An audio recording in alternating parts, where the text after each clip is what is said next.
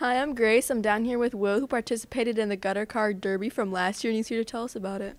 The Gutter Car Derby was a 3D printed version of like a Pinewood Derby thing, and there are three like awards that you can qualify for. There's fastest car, longest distance, and just best overall design.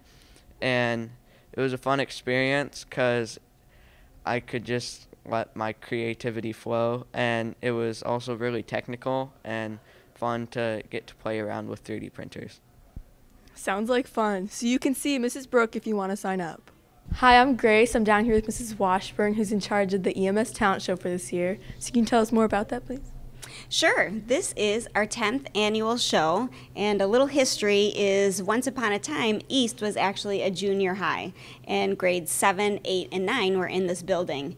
When that was the case, Mrs. Fortin, who is a math teacher at Central High School, uh, ran the East Junior High talent show.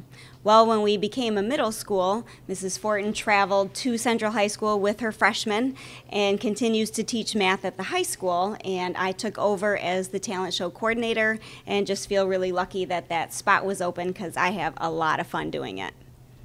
That's great. Okay, so how can students prepare for this year?